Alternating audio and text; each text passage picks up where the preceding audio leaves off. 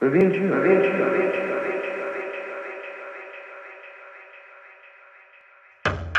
is a poem, I guess, that reflects uh, living in Newark, but uh, I guess living in any ghetto. It's called Dope.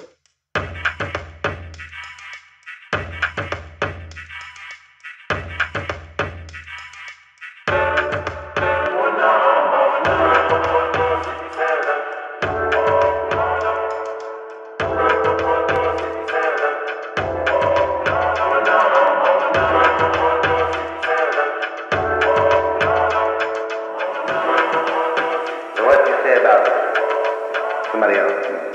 Anybody else? Revenge you, revenge you, revenge you.